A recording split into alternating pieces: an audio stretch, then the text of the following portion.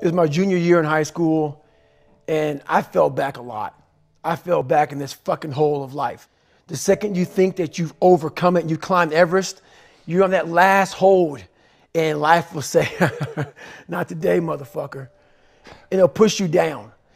And my junior year in high school, I uh, missed a whole bunch of school, was lying to my mom, had like a one point something GPA. I was just jacked up. I mean, it was, I was in one, one of the worst spots in my life.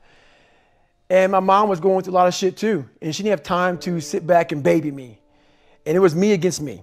My pants were down to my knees. I was just, I was not, whatever was going on, I was in a bad shape. So I went to the bathroom and I had this weird haircut because I wanted attention. I was an attention getter. I went to an all white school pretty much. Um, some of the kids liked me, a lot of them didn't like me, whatever. Didn't fucking matter.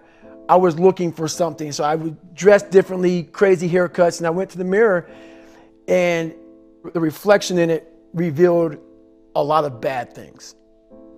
A lot of things that I was hiding behind the saggy pants. And I'm looking at myself in the mirror going like, God, dog, dude, you got you are something else, man. Like you have created a character.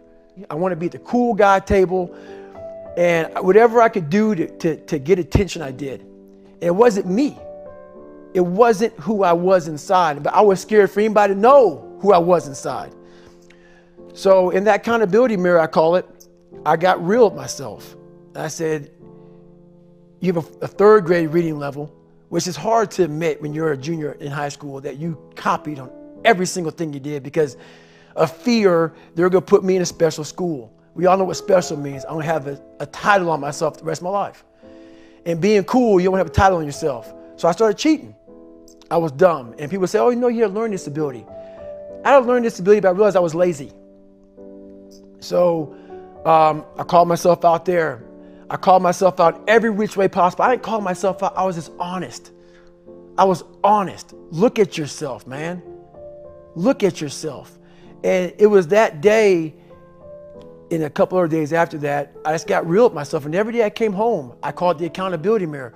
What am I going to do today to change what I see in this mirror? What am I going to do today? And a lot of it was I stopped sitting with the cool guys. I actually tucked my shirt in and went to school looking like, hey man, this is how I'm gonna look. If you don't like it, so be it.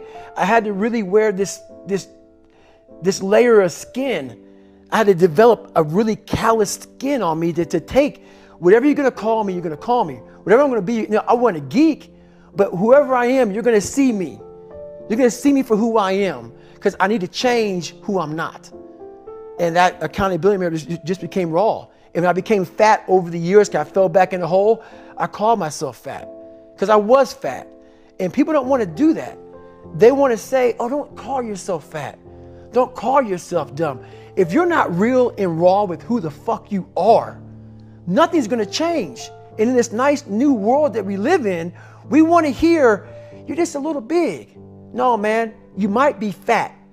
And it's okay to hear that from yourself and from everybody else. So that's where it started at and it's raw. It, it gets ugly sometimes with me in that mirror, but I'm also proud of myself to be able to tell myself that and then fix what's in that mirror.